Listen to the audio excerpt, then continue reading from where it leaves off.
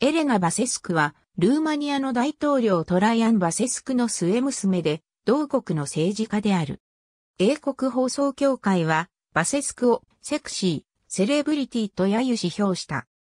バセスクは、経済学の学位を持っており、以前はモデルであったが、2007年に政界入りした。バセスクは2009年に欧州議会選挙に立候補した。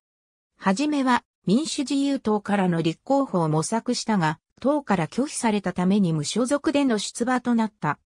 しかしバセスクは立候補のために20万の署名を集めるために精力的に活動し、民主自由党の票を奪うのではないかと党内では懸念が持ち上がったとフランスのエルエクスプレスは伝えている。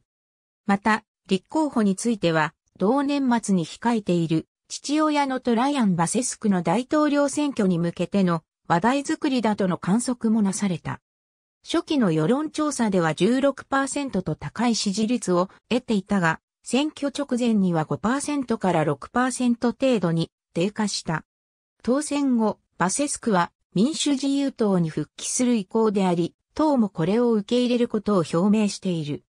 BBC はバセスクについて政党政治よりもパーティに興味があるものと知られ、彼女の絶下に関するビデオクリップはインターネットで人気であると記した。L エクスプレスによると、失言や問題発言によって加熱された縁故主義や無能力との批判にさらされなければならなかったとしている。